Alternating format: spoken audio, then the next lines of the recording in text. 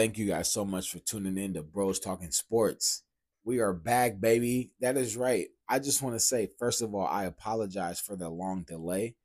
All right. We took a week or so off because uh as my guys say, uh life be lifing. All right. On uh two bros sports talk. Shout y'all out.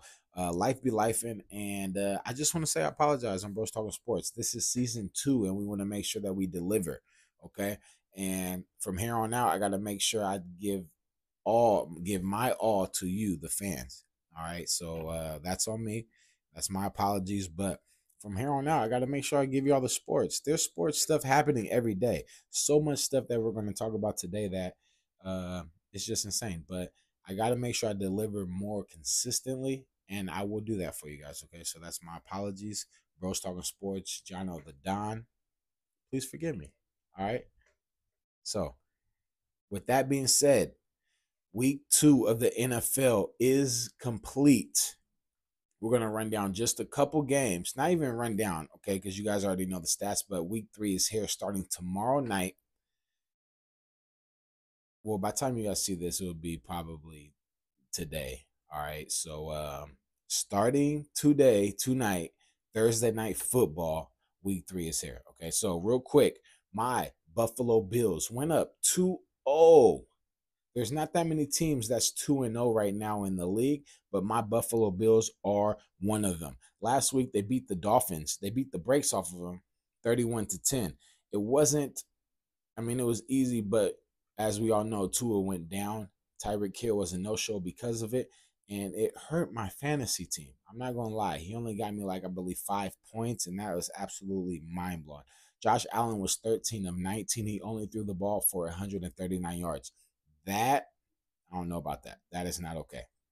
I'm gonna need a more complete game from my guy Josh Allen. And but we got the win. So I mean that's cool. We're 2 and 0. All right. We lead the division, but I need to I need to see more. And by more, I mean coming up on Monday night, we play the Jacksonville Jaguars. So that's going to be a test because the Jacksonville Jaguars are 0 and 2. And the last two times that they've played us, they've beat us. So uh yeah. All right. We cannot take the Jacksonville Jaguars lightly. Trevor Lawrence is going to come to play. And even though he's a little banged up, but they are fighting.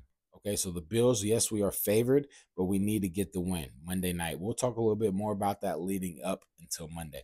But my Bills, they got the win. They're 2 0, and uh, I can't be more excited. Y'all see the jersey?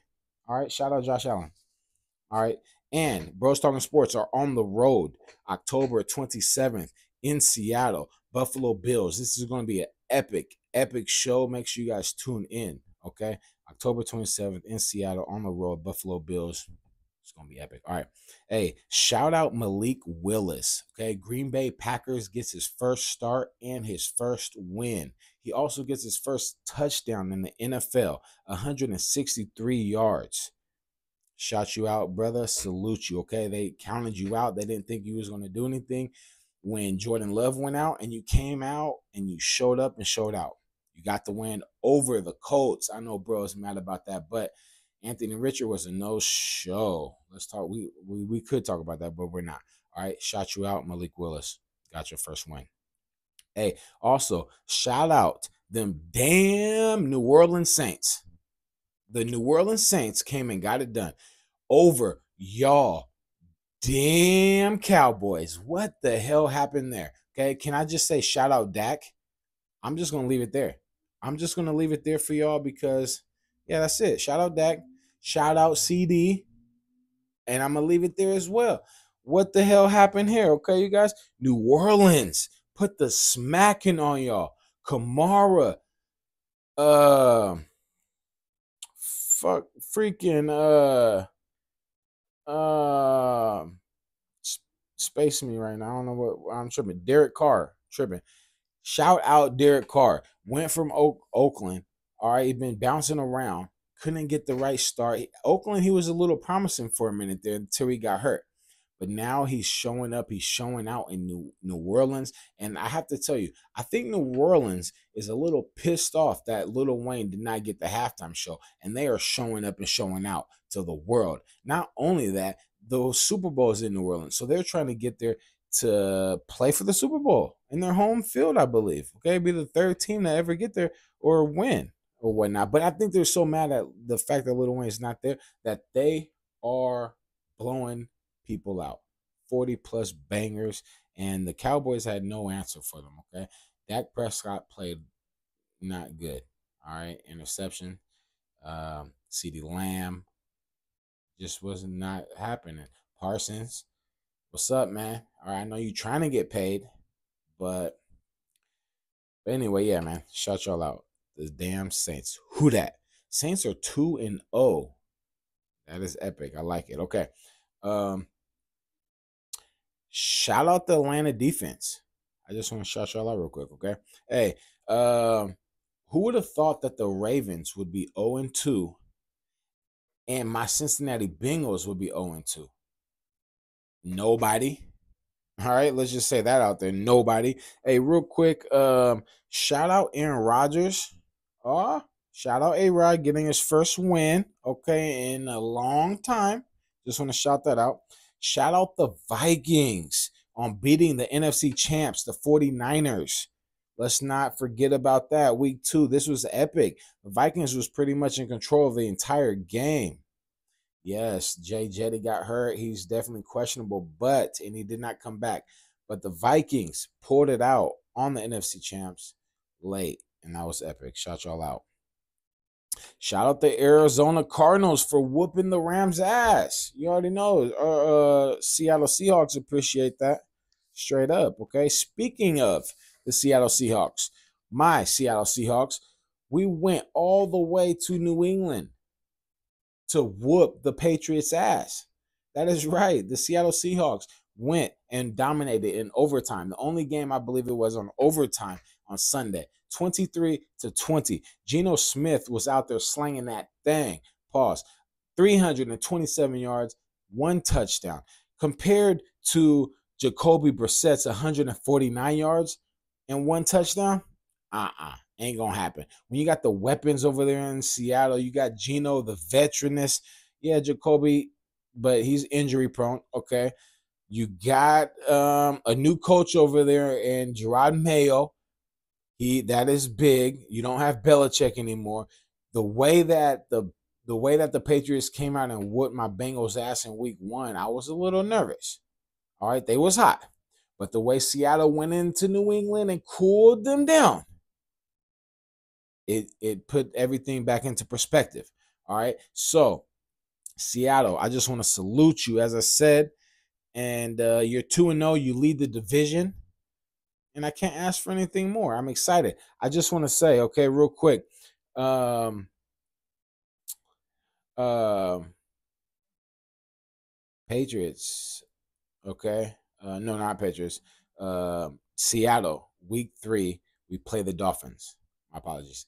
Uh, as we know, Tua's not in. We got Tyreek, we got Mostert, we got uh Waddle. You got some pieces over there in Miami, but I believe, and we're favored. So I am I believe we're gonna win. There my uh Miami's coming all the way to 12 to try to get this win, and it ain't gonna happen. So Seattle after this week could be 3 and 0. That is epic right now, you guys. And I'm uh I'm pretty excited about that. Okay. Now I believe in uh Mike McDaniels for the Dolphins. I believe in him. Okay. But I believe in Mike Macdonald a little bit more. I I could not have said that a few weeks ago. I couldn't. Now we are two and zero, oh, so I am you know riding that coattail, but we'll see how he handles adversity. Okay, and uh, right now he has the locker room. He has the entire locker room. They're with him, giving game balls away, doing all this and that, and I'm excited. So we will see how Mike McDa- Mike Macdonald can make this happen. But uh I'm excited. So yeah. All right. Hey, shout out Baker Mayfield real quick, okay? And the Bucs on whooping my fucking whooping my Lions ass. Okay, let's just call a spade what it is. Jared Goff looked like trash. I don't know if something was wrong with the shoulder or what, but he kept throwing the ball into the ground. He kept throwing the ball into the ground. I don't know what was going on. David Montgomery couldn't get going. Amon-Ra St. Brown got going. He had 119 yards, no touchdowns though. That's one thing we couldn't get going. Um, Gibbs had what 80 what what Gibbs have 84 yards, no touchdowns. Again, we cannot convert. Jared Goff over there in the mean hand had 307 yards, but he had two interceptions. And again, no touchdowns. That was our problem. We lost to the Lions in epic fashion, man. I don't even I can't even believe I don't have the score right now. But y'all know we lost, and that's that. Um I didn't like it. I didn't like it, okay? But shout out the defensive, the new defensive player of the year, Aidan Hutchinson, because the way he started this game, three sacks in the first quarter, he finished with, I thought it was five, but they gave him, they took away four and a half sacks, a career high. In this game, he's absolutely going to be the defensive player of the year. And the Lions needed to get it together. Not really the Lions. I know Amon-Ra St. Brown's pretty much uh, a little bit banged up, but Jared Goff needs to get it together. You can't be having these up and down years. You're number one pick. You've been traded from team to team. You had us on a high horse last year, and now you cannot have us Lion fans making our blood pressure go up. You just can't do it. So, Jared Goff, I need you to get it together. You guys had 463 total yards. Tampa Bay only had 216. We completely dominated the game with those two interceptions. And Baker, Baker is cold, man. Okay, Mike Mike uh, Evans didn't even really get going like that, like was, like he did in Week One. But Chris God, Godwin did though. Godwin went off. But uh, yeah, man. All right, shout y'all out. Anyway, I got to give credit where credit is due. All right. Uh, next week or th- this week, Sunday, the Lions are at the Cardinals. So obviously that should be a win. But the way that Kyler Murray and the Arizona Cardinals whooped ass last week, it's going to be scary. All right, because they're almost kind of like a, a, Tampa Bay Buccaneers. Well, Baker, he's just slinging it. He don't really care. There's like nothing to lose. He's just going, going, going. Kyler's the same way. So it's a little scary, and they're on the road. So um, Dan Campbell has to have the team ready to go. That's all I got to say about that. All right. So next up, real quick, like I said, who would have thought my Bengals would have been 0 and 2? We faced the Chiefs and they're 2 and 0 because they beat us. All right. The Chiefs beat us 26 to 25. Can you say the refs are cheating? Did the Chiefs pay the refs? I don't know. I don't know. I don't know. I'm just, I don't know. I don't know. I'm just playing. But listen, fourth down, 38 seconds to go. You're going to call that tippy tap. The couple plays before that, you didn't call it.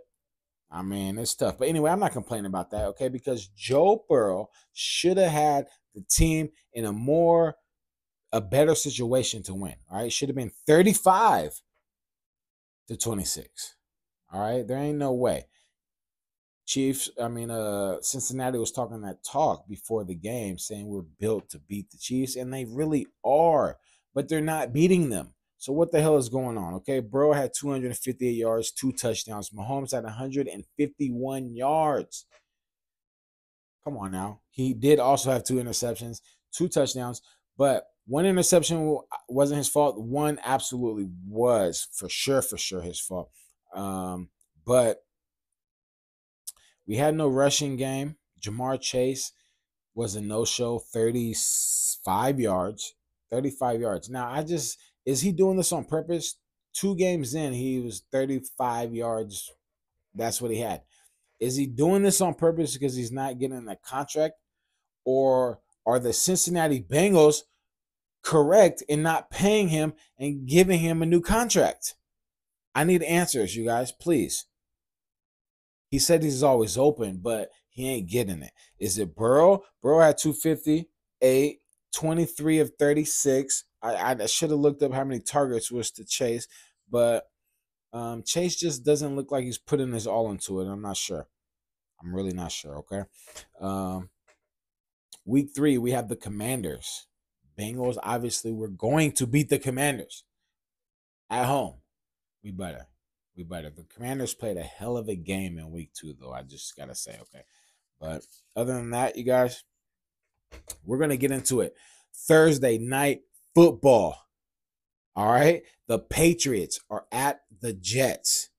This is epic. This is epic, okay? Because as I said, the way the Patriots came out in week one and dominated, Seattle cooled them off. But the Jets also, week one, they couldn't get it done. Week two, they found the groove. Aaron Rodgers came out, he got it done. Threw for 176 yards, two touchdowns, no interceptions. That was epic, okay? They have the momentum going in. Rodgers got his first touchdowns in a very long time, so that was epic. Uh, Rodgers, Breece Hall, Allen, Garrett Wilson, Lazard, they are rolling. Not to mention their defense is absolutely spectacular. Let's. See, I actually have them on my fantasy team, so keep it up, keep it going, okay?